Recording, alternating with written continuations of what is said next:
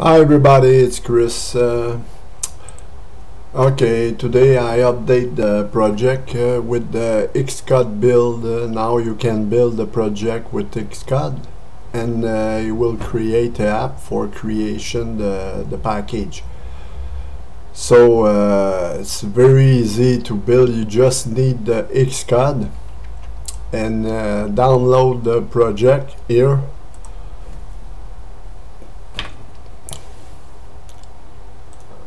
when the download is finished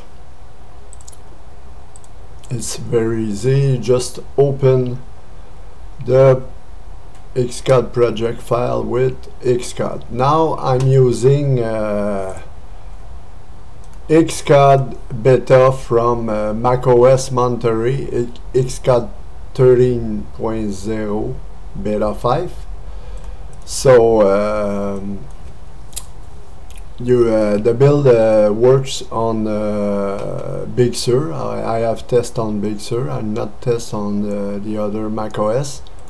So just open this file here, open with Xcode and trust and open and simply go to product clean the build go to product and build. You will see here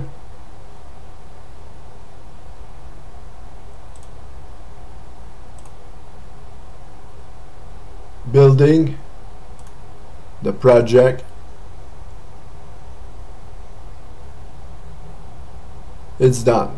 Build successful. So to find the you see with uh, with the this Xcode on Monterey you cannot show uh, show uh, in Finder. So you have to go to uh, preferences go to location and here. You see here you you're on the library Xcode the deriver data. This is the build. So the build it's here HP ProBook build product debug now you have your build. It's very easy guys. So now you can close the Xcode window. This is the app creation for the create the package. This is the app build with Xcode so you simply build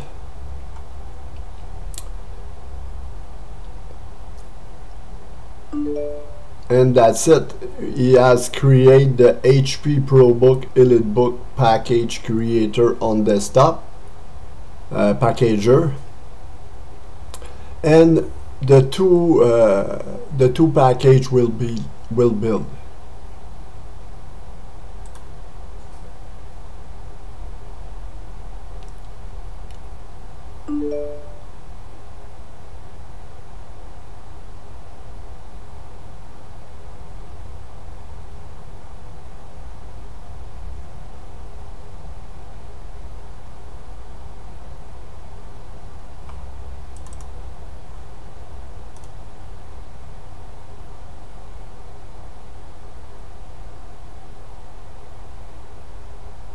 and you will see at the end uh, the folder open automatically.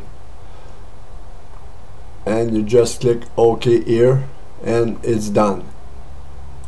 Click done. The application close automatically. So you have the package you have the same package with the release uh, if you download the release and you have the the installer uh, for the USB creation and you have the package for uh, the post installation. So this is my video guys. Hope you like it and uh, hope uh, I hope uh, Apple uh, will uh, fix some some things with Xcode so have a nice day. Bye bye